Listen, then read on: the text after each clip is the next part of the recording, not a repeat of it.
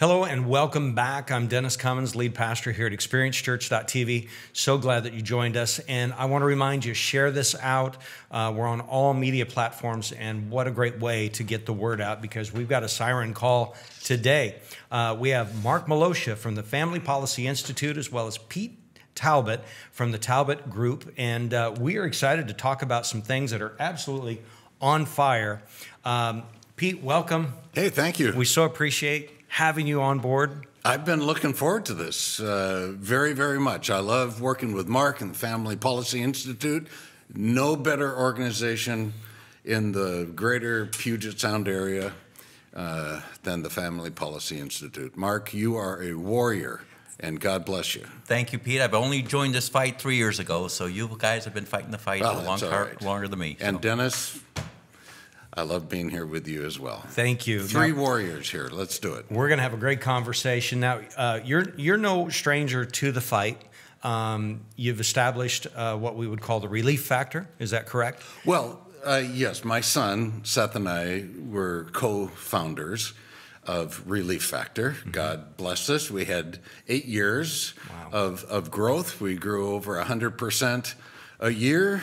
Uh, and in the last 18 months of our leadership of Relief Factor, it grew about 400%. Uh, but back in June, Seth and I stepped down from the day-to-day management of Relief Factor, and uh, we're concentrating through the Talbott Group and working with One Accord, uh, another wonderful organization that we're working with, uh, to help businesses and ministries grow, scale, achieve everything they need to be. So Wonderful. There wonderful. you go. Well, let me punt the ball here because um, if, if you've just joined us, I want you to understand that, that there's something that we're holding as, as the foundation to the conversation, and it's what we're calling the high five or the high five values. Uh, it's biblical marriage between one man, one woman. Uh, we're talking about biblical gender and sexuality. We're talking about the right to life, the rule of law with responsible policing, and that we are all created equal in the eyes of God. And so, with those five uh, what we would call morals. It's interesting how some people are telling us um, you're being political, or we being, we're being political when we talk about those things. So therefore, uh, many of these topics are being avoided in churches, and pastors are scared to speak out. And so, what, what are you guys seeing? Oh boy. Do we have a couple of hours now? Yes. Okay. Well, d- recently I've been accused of uh, of uh, being out of line because for quite a number of years I've been frustrated with the leadership of the American church. Uh, the the church leaders have been saying now in unison, all together for the most part, that politics has no place in the pulpit, and that's just uh, baloney. Of course, that's just pure nonsense because they, in essence, drank the Kool Aid Right. that politics, you know, the, in, in reality, all of these issues that are being shoved down our throats, the whole country throat, down our children's throat, uh, they're not political. These are moral Yeah. issues, moral, uh, spiritual, biblical issues. Yes. And followers of Jesus Christ need to make a stand. That's right. And uh, uh, Francis Schaeffer, I was fortunate enough at Bellevue Christian School back in the 60s, he would come to our school for a week. And, uh, but I, uh, he, he made a comment. He said, Truth requires confrontation. Indeed, he went on to say, truth demands confrontation. And, and, and so it's time for God's people to stand up, be counted, and to stand for biblical truth. Truth at all, Martin Luther. Yes. Peace whenever possible, but truth at all cost. Yes. And we're just not willing to do it. Church leadership today is not willing to make a stand. Privately, they, Yeah. they, they know the truth. They say, of course, Lord is, uh, uh, Jesus is Lord of all, but uh, they don't believe in the relevancy of Jesus in Scripture when it comes to all of life, Right. all of life. Right. So, I absolutely agree with Pete. Truth is the heart of it. One of my favorite scripture quotes is when Jesus Christ said, If you live according to my teachings, then you'll know the truth. Yes. And the truth shall set you free. Yeah. So, truth of what Scripture, what Jesus talked about, is the heart of our society. And just like the issues you mentioned earlier, rule of law and equality, what's the truth about how we should live on those two issues? Mm-hmm. And as you see in Washington State, we had we're having a very divisive, you know, what I'm say horrible debate where we're changing our, our, our, criminal justice system, the police, how we deal with right and wrong, and equality, which is the whole race issue. And, um, and, and if we don't go back to the truth of Jesus Christ, we're lost. And we have too many pastors and, and leaders who are afraid to speak the truth out loud. And unless we start doing this in this great moral debate our country, our state is lost. About uh, three, four, and five years ago, maybe even more recently, the Barna Group did, has done several studies asking pastors. Uh, and George Barna was smart enough to ask the question this way. He says, Are, are Jesus and Scripture relevant to all of life, including all social, cultural, and political issues? Yeah. Interesting, 90% of pastors said yes. They had to say yes. I mean, how can you say no, right? right? Well, they said yes. Yeah. The scary part of the survey, as Barna dug deeper into the into the uh, the questions, less than ten percent of those ninety percenters had ever preached the relevancy of Jesus yeah. and Scripture to social, cultural, and political issues, mm-hmm. and they said they never would. So in reality, we're stuck right around 8%, maybe 9% total of church leadership mm-hmm. is willing is willing to teach Jesus yeah. as relevant to all of this stuff. And this is why I know we, we were planning on talking about education today and lots of lots of different things. But this is why 84% of our youth between 18 and 28 see no relevancy of the Bible to their careers. Right. They've separated life into sacred and secular categories. Jesus isn't relevant because they've been taught he's not relevant. Yeah. And so this gets us into education and our concerns, but we have a leadership crisis. Yes we have a leadership crisis. Well, it's obvious. Uh, another study he did, he talked about how the majority of pastors won't touch on anything in the pulpit that they would deem controversial. Yeah, oh, divisive. Oh, yeah. Divisive. And really, those five elements are what they deem as controversial. Yes. Um, or we're just told not. And, and, and it's amazing how the left will pin these five things as their moral fortitude, and, and these are yes. value, life or death issues for them. But we're told in the church this is being political. We just need to shut up and put up and stay out of it. Yeah. And just stay on our little life rafts and be quiet. Yeah.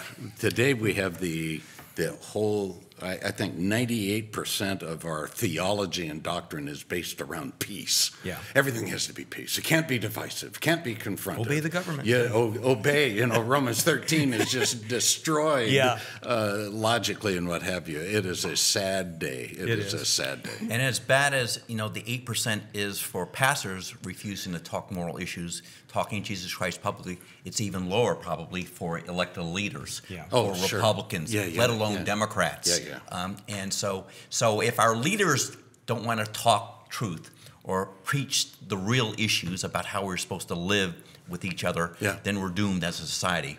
So we have both groups we have to work on. That's how do we get pastors engaged, and how do we get our elected leaders and opinion makers involved in speaking these issues? We have great quotes from George Washington, our founding fathers, where they were uh, Abraham Lincoln. Up until really um, just recently, folks were not afraid to talk Scripture, uh, to talk Jesus. But yes. today we we're, we're, we put our light in the bas- basket completely. That's yeah. right. Well, I think we need to, to get back to uh, the local levels, uh, I, we put too much emphasis on the presidential election. Oh, sure. And, and we yeah. lost our school boards. We, we, yeah. we, lost the things that are dearest to us. And, you know, God's called us to protect the innocent. And, and we, we have a responsibility. And now we're seeing where we've abdicated our responsibilities, how that void, darkness, is filled. And uh, complete chaos has entered our school system. I mean, the, the, the pedophilia propaganda that is being pressed into the libraries and into the schools uh, is unconscionable. I think one of the key questions that has to be asked and answered, we have to force Christian parents to answer the question whose responsibility is it to educate our children? Yeah. Whose responsibility? Uh, John Piper uh, made a comment not that long ago that it is the parents' responsibility, not first the church, not first the government, but the parents' first line responsibility to teach children basically a biblical worldview, a Christ centered, biblically based, Right. Christ honoring worldview. Parents. But unfortunately, 95% of Christian parents don't believe in Christian education Right. because of a number of reasons. They say it's too expensive.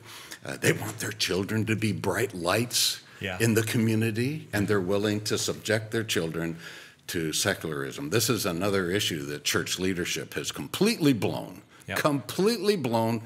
In America, the default position that is accepted and completely endorsed Yeah. is secularism for our kids. Secularism with a capital S, a replacement for God. Yep. And this is this is why we've now got generations of our children that are growing up back to Barna. Depending on the study, 70 to 90 percent of our kids leave the church Yeah. when they leave the home. Big surprise Yeah. when they're taught five days a week, six hours a day for 13 years. Yep. that facts are neutral. the teacher becomes the parent and and the interesting thing is e- even the the students that have moral values or a biblical worldview when they get into uh, college the four-year schools um, the likelihood of them coming out n- uh, not an agnostic or an atheist is very unlikely You know the scary thing about the Barna studies about kids leaving the church? He says when they do the deep dive on these kids doing the research, they make the decision to leave the church between the ages of 10 and 11. my goodness They've been submitted to this neutrality as if facts are neutral. yeah and and and uh, they decide they realize even consciously this is not making sense. This is not it's a sad thing. I was uh, sitting in a conference about 30 years ago. Chuck swindoll was speaking. Yeah. and he made the comment i about fell off my chair because it was it was like francis schaeffer was up front speaking again. And he said the biggest lie in America is that we can separate life into sacred and secular categories. And then he said the biggest mistake parents have made is that they believe the lie that facts are neutral. When in reality, Chuck went on to explain, facts will either lead a child to God or away from God. Mm-hmm. None of this neutral stuff. Facts are not neutral. Every fact has context right as creator, we see God in all of creation, and we could go on and on and on Yeah. about that. That is what a Christian education is.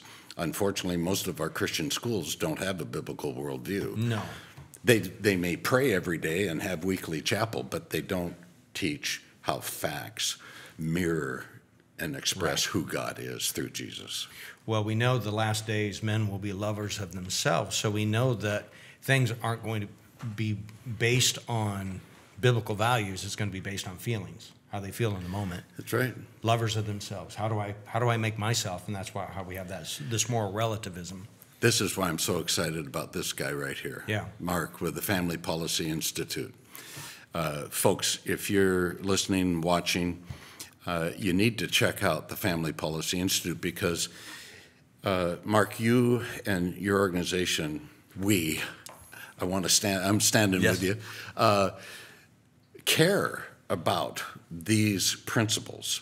And we need to give parents, any individual with or without kids, tools, knowledge, Yeah. information, so that they can make their stand, even if it's just with their neighbors and in their communities, and how that relates to politics and school boards and Yeah. things. We need to stand for truth. And there are a number of good organizations, but I, I don't see any that are any better. You guys are just fighting the fight. Uh, thank you. We're fighting the fight, but we need help. Uh, well, I was in Moses Lake uh, last week, and um, and they they invited me out there because their school board is under attack. Uh, they ended up firing their superintendent, but they're fighting all this inequality, this new critical race theory stuff down there, and so the locals uh, needed help, advice. How do how do we fix this? And so the local community is starting to rally, but this is happening all across the state. We're losing the school boards to these this new radicals that are Right. taking over, uh, and so all of us need to be involved. If you think your school district is immune to all this, no, no, No. Puyallup School District not immune. Seattle, of course, is lost, but we all have to be involved in this fight. So our goal of our organization is to get all parents, all elected leaders aware of what's happening in the school districts, Yeah. what is happening to our children, how the corruption and evil has seeped in, and to change it back to where it was. Uh, what's so exciting about this, Dennis, is that uh, change can happen. But there are some parents that are very concerned. They're crying themselves to sleep at night, literally, because of what their children are being uh, subjected to. This is uh, these are serious issues when children are being told to question their sexuality Oh, yeah. or even to, to choose now Yes. their sexuality and everything. We don't have to go any further. It, it's just vile things that our, our children are being subjected to. This is another reason why there are things that parents can do right now. Yep. Right now. There's organizations, for example, Renew a Nation. They've developed a biblical worldview curriculum and it's available online. They also teach families, teach teachers. Uh, they work with Christian schools to transfer over to a biblical worldview instead of the Christian schools just teaching facts as neutral. Right. That's not the answer. Facts will point to Jesus or away from Jesus. A Right. biblical worldview curriculum is critical, and parents have to understand it. But there are options. Yeah. There's options right now. There are good homeschool uh, organizations and things that you can take advantage of right now. Well, let, let me let me just pull this back to the leadership issue um, because the left has done such a good job of intimidating leaders, intimidating people that if you step up, if you speak on these topics, you'll get canceled, you'll get doxxed, uh, people will show up at your house, and so there's a lot of fear that I think some leaders are are feeling or uh, trying to address, and that that has muzzled them Yeah. because they've seen other prominent people that have dared to step out um, become canceled or doxxed or blacklisted. And so, how do we encourage leaders to rise? I mean, counting the cost and knowing really what they believe is true. I believe that leaders must embrace Jesus Christ. Uh, Jesus Christ is our sword. His teaching is our is is our best weapon to fight against what is happening to America. Unless we center ourselves in Jesus and His cross, you know, um, we are doomed as a society. The other side has the passion, it has the numbers, it has the money. So unless we lead with our faith, we cannot win. And so, how do you convince pastors to speak publicly about Jesus Christ and his teachings. How can we have our elected leaders do that? So that's where all of us has to unify. We have to put aside our dis- denominational differences, uh, but Christians need to unite against these false prophets that are among us and the savage w- wolves out there. They've corrupted the media. Don't trust the media here and the mainstream media at all. And in fact, many of our institutions, our schools, higher ed, uh, uh, many different nonprofits are now working for the other side. So we have to go back to basics. We have to change hearts and minds and lead with our faith. I could not agree more. Every answer to these problems is centered in the person of Jesus Christ. Every you can you can ask the question: uh, Does Jesus make a difference in politics, mm-hmm. in sexuality, in art, in music, drama, science, history? Mm-hmm. Does Jesus make a difference? Scripture makes it very clear that Jesus is uh, sustains all reality, all mm-hmm. creation. He not only created it, he sustains it all. Yeah. He is the mystery. He is the peace that that keeps it all functioning and working. So that we can see God in a deer giving birth or in the stars or in storms or in a frog or whatever. We can see Jesus. And uh, this, even this table here, scientists wonder, they don't understand why atoms Yeah. hold together. they hold together if you believe the Bible. Right. Because of the person of Jesus Christ. Right. He is that in the center of Yeah. all reality. So Jesus is our starting place. Mm-hmm. Parents need to understand that. That's why what they're being taught, facts cannot be taught out of context. They have to be taught in context Yeah. as God and Jesus as creator and sustainer of all life. I like to say, you know, Genesis confusion leads to doctrine delusion. Love it. I, can I can you, I use it. You can that? have it. It's free. I got it from upstairs. Okay. Um, but that you know, we took prayer out of the schools, and then then we we put Darwin in, and so now you know here we go. Any there is no uh, biblical science. There is no Right. absolutes. You know, uh, wh- when uh, we were sharing in another segment, when gay marriage was voted in, I, I saw it as like the Titanic. Uh, it struck the iceberg, and the the bulkhead had been breached. Water has come over, and so the engineer goes to the captain and says, "It's going to flounder. It this will sink." And you still had people on the deck in their stoles, getting chairs ready. They're playing music, Yeah. and they they were in denial Yeah. of where they're at. And so this is where we got to come back to. We got to get back to the basics, the clarity of Christ. That's right. And unfortunately, that needs pastors and that needs elected leaders willing to be out there in the public square, take the slings, takes the rocks and the arrows in the back sometimes, but they have to preach the good news. And if we do that, you know, we will make America a, a Judeo-Christian nation again. Uh, the other side, the devil was smart, convince us that secularism we can be value neutral in our government and our laws with our Constitution. Impossible. It is impossible. Now they're not even pre- pre- pretending to be value neutral anymore. They're filling government, filling the law, everything with their version of morality and values. And frankly, it is ugly. It is evil. And so we have to go back to the basics, just like our founding fathers, and make America a religious nation again, a moral nation again, and say that out loud. Amen. Dennis, you asked the question about leadership, and it's interesting. I've personally talked with probably a dozen pastors lately, and uh, many, uh, hundreds over the years. And again, when you talk with them one on one, they understand. But you mentioned fear. Well, fear has gripped elder boards Yes. committees, Yeah. marketing committees, uh, and they now are telling their pastors, Mm-hmm. don't talk about politics because of fear. Yeah. They're afraid of the press, they're afraid of the state, they're afraid of the federal government. Uh, they're afraid of physical harm because now the end justifies the mean. Right. Uh, the means for the deluded, it's okay because the deluded who believe it's a good thing for a transvestite to go into my granddaughter's bathroom, Right. they, they believe it. Yeah. You're sick. The cancel. I recently was uh, uh, by a friend called uh, that I was derogatory.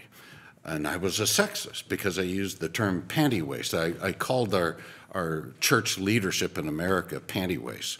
Uh, Rick Warren calls them that, by the way, and many others do as well. So I'm, I guess I'm not alone. But I was called a sexist and a racist and derogatory, and they, my friend said he'd no longer listen to me. And it's because of this fear that everything, we have to be at peace Yeah. With brothers and sisters in the Lord at all cost, accommodation at all But cost. we're the only ones that seem to have to accommodate. Yes, yes. But to address this, it seems to me why I'm so impressed with the Family Policy Institute again is because they have a heart for working with pastors, mm-hmm. Mentoring pastors, coming, standing alongside pastors. Uh, Carrie Abbott with the Legacy Institute is another wonderful, boy, she is just incredible working with pastors, helping them come out of this stupor, out of this fear, to get back into true ministry of speaking the truth in love. It's always been, we have to, in love, has to be in love, has to be sweet, grace, peace, joy, hope, happiness. Yeah. But speaking the truth can be difficult. And you have to have the courage and the boldness that only comes through the Holy Spirit mm-hmm. to speak the truth Yes. in love. You know, it's interesting. I, I look at Jesus and the disciples, and if anybody stood for free speech, it was them because they died for it. They could have lived. Yes. Every one of them could have lived Yeah. if they just shut their mouths, Yeah? if they were silent. But they didn't. They didn't allow fear to rule them. Jesus said, Let not your heart be troubled. And that's where we have to be today. Um, we're gonna we're gonna wrap this session up, but we're gonna jump into another one. We are. Oh yeah, because Okay. we're gonna keep this going. So hey guys, don't forget share this out. Um, this is light. This is truth, and don't forget light always wins. Thank you. God bless.